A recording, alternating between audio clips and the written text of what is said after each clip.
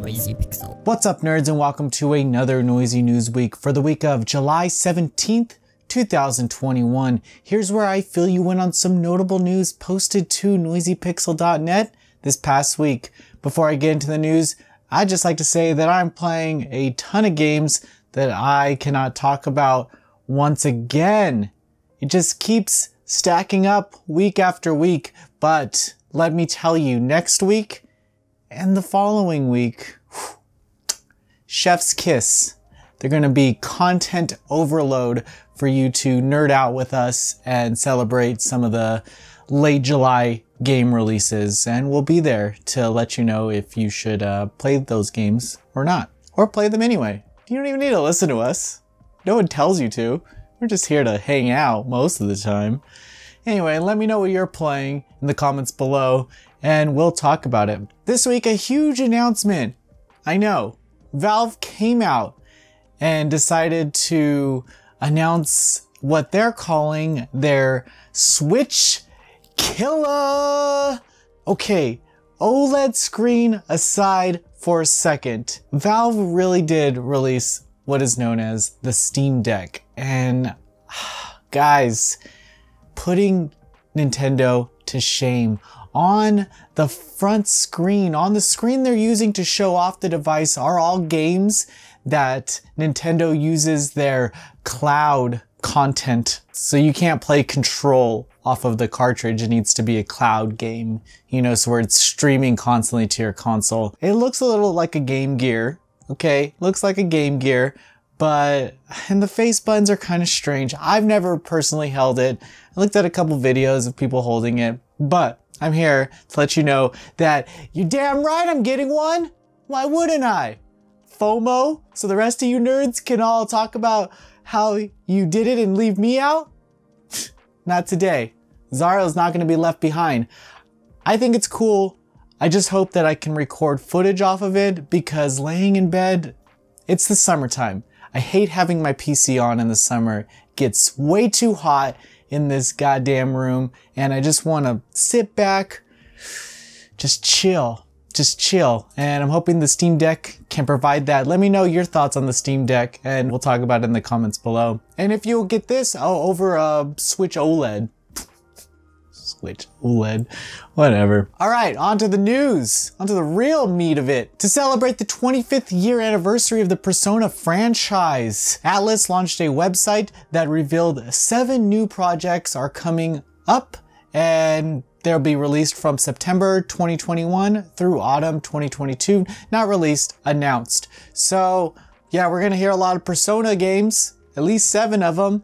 They like to do the arenas and the dancing games, so they could be spin-offs, but Persona related all the less. Tango Gameworks released an announcement that Ghostwire Tokyo has been delayed to early 2022 for COVID, you know, that goddamn pandemic delayed yet another game. I feel like they should have announced this months ago. It's not cool to delay your game for COVID anymore. Did anyone tell them? Anyway, this game is still coming out and in development. I haven't really seen much of it, so I wasn't even thinking about it when they delayed it. I was like, eh, okay, I, I got Tales of Arise coming up. I don't need anything else. Publisher Bandai Namco announced that Super Robot Wars 30 is coming to PC via Steam on October 27th in the West.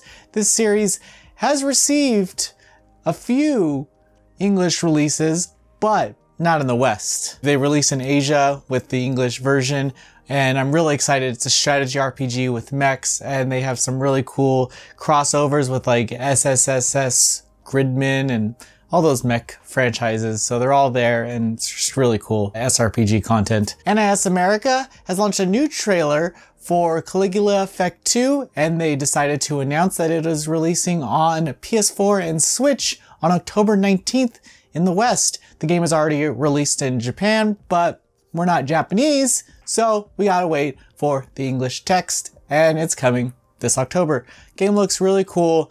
I'm excited to kind of get back in this world. It was one of my favorite Vita games just for its pushing of that hardware and the style. It, it did, the frame rate did suck a little bit. It was, it was okay. It was it's a good game though. If you haven't played Caligula Effect, I think there's that overdose that's released on consoles. Go ahead and check that one out. CyberConnect 2 released a couple of extra trailers for Fuga Memories of Steel, and I'm still talking about this because it's coming out July 29th. The trailer highlights how the characters' moods will affect battle, so you can interact with characters and then benefit in the battle from their high spirits.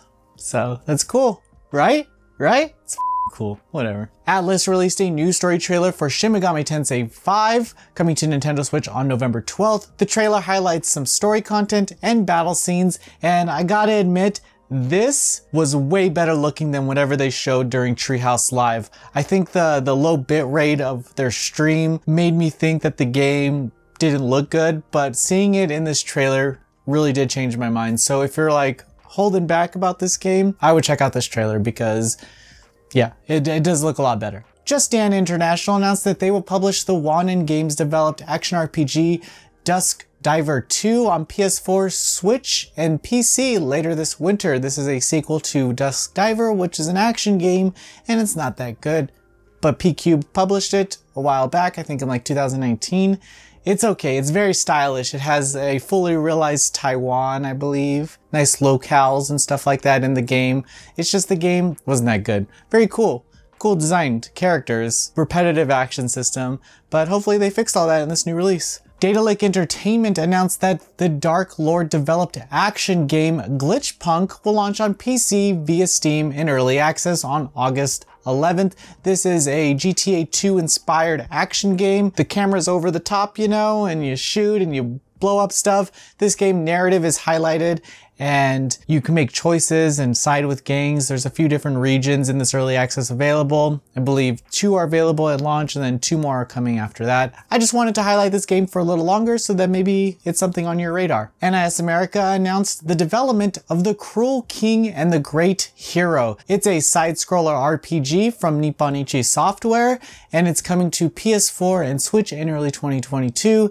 The game looks really cute. It's about this girl who's raised by a dragon and goes out to find her parents, I think. But it's very storybook-esque, such like, what is it, Hotaru no Nikki and all those, all those games that they release, those indie games. Very cool. I'm excited to see what they got in store. Bandai Namco released a new gameplay trailer for Tales of Arise, highlighting the character Law. He's very cool, calm and collected. He seems to not like a certain character in the party and he makes that very clear. But then at the end of the trailer, he seems to come around.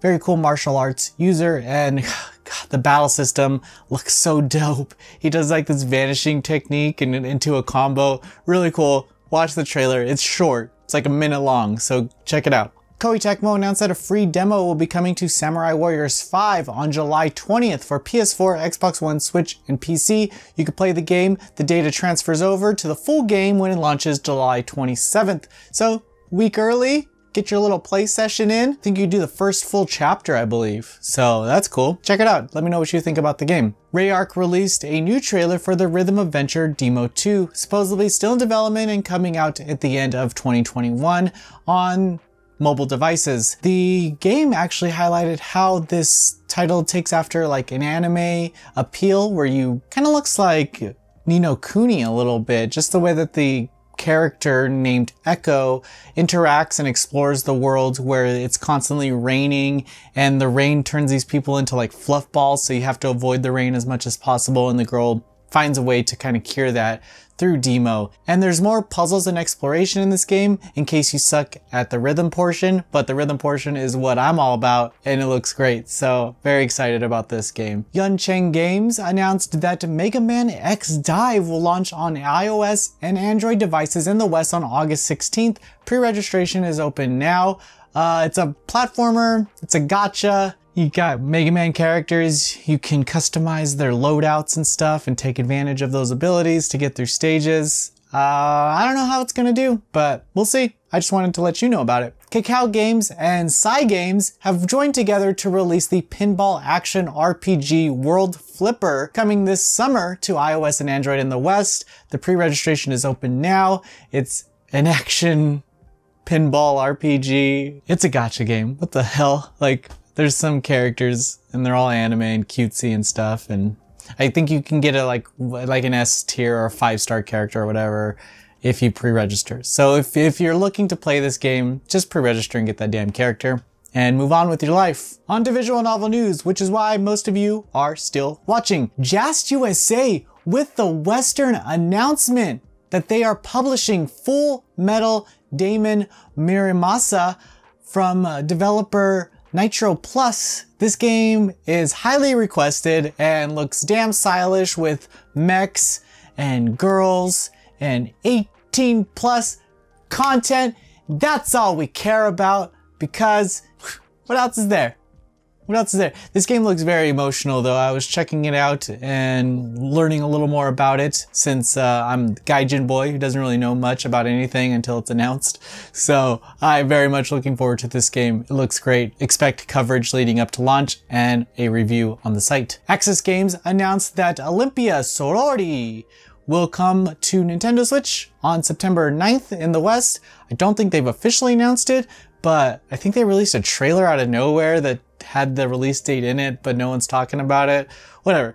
It's coming for you Otome fans everywhere. Anchor released a new video for the Muv-Luv universe, revealing gameplay for Project Mikhail. The gameplay kind of covers the customization and the action within the game since it's not solely a visual novel, but it has been delayed to September and October on PC and Switch respectively. So sorry, you're gonna have to wait because I think it was supposed to come out next month, but give them, give them the delay. They're a visual novel developer taking on an action series. What, what do you expect? Lastly, but not leastly, Manga Gamer has released the Sukerasparo developed educational Yuri visual novel Distant Memoraĵoj.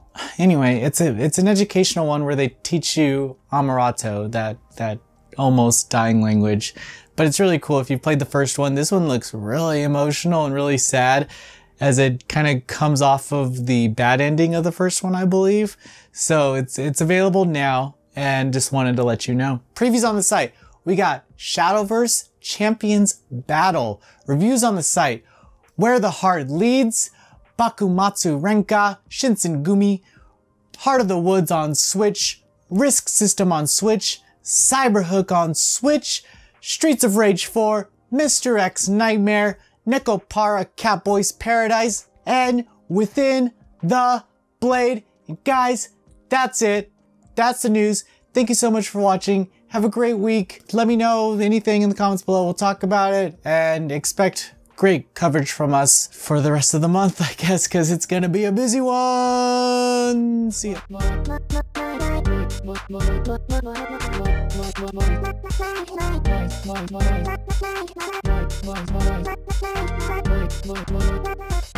Noisy Pixel